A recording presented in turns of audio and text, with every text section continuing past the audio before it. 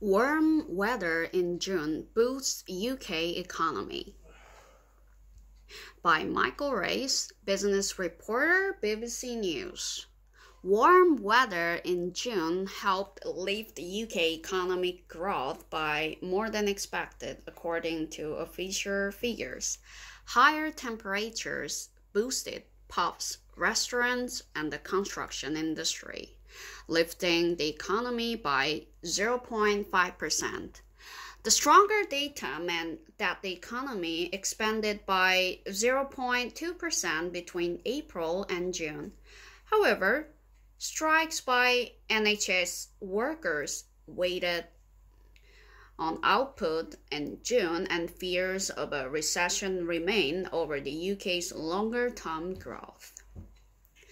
Darren Morgan Director of Economy Statistics at the Office for National Statistics, ONS, which published the data, said there were three factors that affected the UK in June the number of working days, weather, and industrial action. He said while the economy bounced back from May's extra bank holiday for the King's coronation, the manufacturing industry and cars in particular had performed robustly. Services also had a strong month with publishing and car sales and legal services all doing well, he said. Uh, though uh, this was partially offset by falls in health, which was hit by uh, further strike action. While June's growth was better than expected, the UK remains only country out of the G7 nations not to see its gross domestic product GDP return to pre COVID levels based on the latest quarterly figures. James Smith, research director at the Resolution Foundation think tank, said that growth of 0.2% between April and June showed uh, the UK's relative resilience. The UK has avoided a recession after the economy expanded by 0.1% in the first three months of this year. A recession is usually defined as when the economy shrinks for two three month periods or quarters in a row. Mr. Smith said that while the UK has served a slowdown, it will feel like a recession to many as families struggle with the ever rising cost of essentials and higher mortgage repayments. It's tough. Phil Simpson, managing director of Lancaster Brewery, which has venues in South Cumbria and North Lancashire, said that he has never experienced an environment like the current one during his 20 years in business.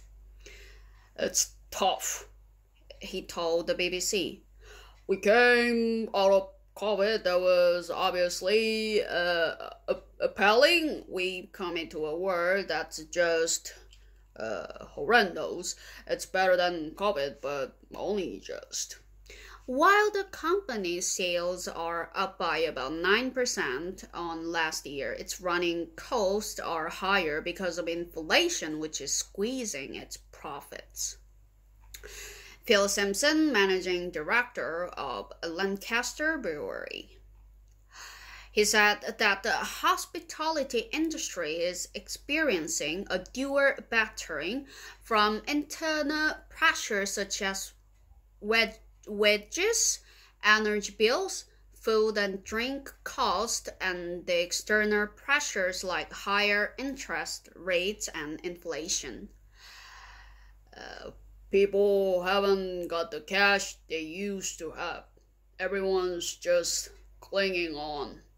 Mr. Simpson said, Oh, there really is no good news in our industry. Capital Economics predicted the country will enter a mild recession later this year once a succession of interest rate rises by the Bank of England take effect. Its deputy chief UK economist Ruth Gregory said while June's growth looked encouraging, the bank holiday unusually warm weather and strikes uh, make it hard to judge the true health of the economy. She said underlying activity is still growing, uh, albeit at a snail's pace. We still think that uh, with most of the drag from higher interest rates uh, still to come, Uh, gross domestic product will fall between July and September, and a mild recession will begin. UK economic growth remains weak. Quarterly GDP growth in the UK. Source Office for National Statistics. Strikes by health workers could continue to drag on the UK economy. Industrial action took place in July. And on Friday, junior doctors started a full day walkout as health bosses warned that NHS services were at tipping point with costs to cover the previous four strikes estimated totaling about 1 billion pounds as were thousands of postponed treatments. Prime Minister Rishi Sunak has made growing the economy one of his key pledges. In response to the latest figures, Chancellor Jeremy Hunt said the actions the government were taking to fight higher prices were starting to take effect, which means we're laying the strong foundations needed to grow the economy. But Labour shadow Chancellor Rachel Reeves said growth in the economy was still on the floor due to 13 years of economic mismanagement under the conservatives. The rising cost of living and higher interest rates have been squeezing the finances of households and businesses. Inflation, which is the rate prices prices rise at is 7.9%, which is almost four times the Bank of England's 2% target. The bank has been raising interest rates in an effort to bring inflation down, with the theory being that by making borrowing more expensive, people will spend less, leading to demand slowing and prices to rise as fast. GDP is a measure or an attempt to measure all the activity of companies, governments, and individuals in a country.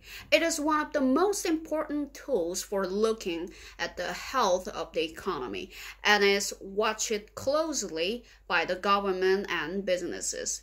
If the figure is increasing, the economy is growing and people are doing more work and getting a little bit richer on average. But if GDP is falling, then the economy is shrinking, which can be bad news for businesses. If GDP falls for two quarters in a row, it is typically defined as a recession.